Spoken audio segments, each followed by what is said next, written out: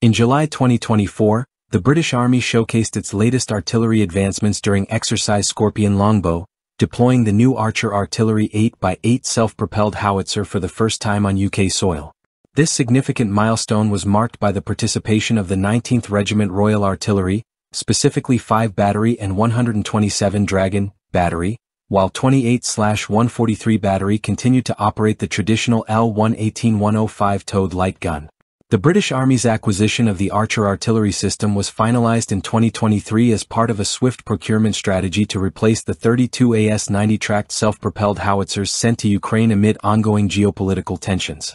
The deal involved the purchase of 14 Archer 6x6 mobile howitzers, scheduled for full operational capability by April 2024, with the first units arriving in the UK in October 2023.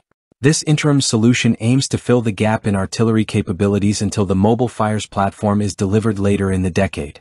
Negotiated between the UK's Defence Equipment and Support DE&S, and the Swedish government, the contract was completed in a remarkable 48 days, marking it as one of the fastest acquisitions of a complex military system in UK defence history.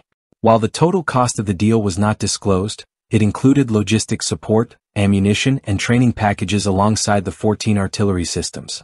The Archer artillery system, developed by BAE Systems Bofors, boasts significant advancements over the AS-90, notably in range and mobility. The system can fire conventional rounds up to 30 kilometers away, and over 40 kilometers with base bleed ammunition, with precision-guided munitions such as the Excalibur shell extending its reach to 60 kilometers. The automated loading system allows for three rounds to be fired within just 15 seconds, with a capacity to hold 21 rounds ready to fire without manual reloading. Weighing in with a minimal crew of just 3 to 4 personnel inside an armored cabin, Archer provides enhanced protection against small arms fire and shrapnel. Its wheeled chassis ensures excellent mobility, enabling rapid redeployment across various terrains, while its shoot and scoot capability enhances survivability by allowing quick repositioning to evade counter-battery fire. The deployment of Archer underscores a significant transition in the British Army's artillery capabilities. While 5 and 127 batteries have integrated the Archer system, 28-143 battery continues to rely on the older L118 light gun, illustrating a phased approach to modernizing artillery assets.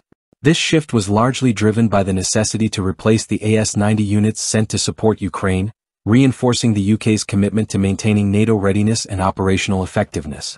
Exercise Scorpion Longbow provided crucial training for personnel to adapt to the operational practices associated with the Archer system, enhancing the Army's artillery proficiency and alignment with NATO standards. The successful integration of Archer improves interoperability with allied forces, paving the way for more efficient collaborative operations in future missions. The introduction of the Archer artillery system represents a forward-looking strategy for the British Army as it seeks to address evolving global security challenges.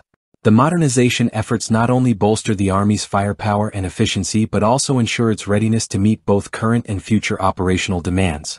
As the British Army continues to roll out Archer across more units, the incorporation of advanced technology into its artillery regiments will significantly enhance its defense capabilities, ensuring that it remains a formidable force within NATO and the global military landscape.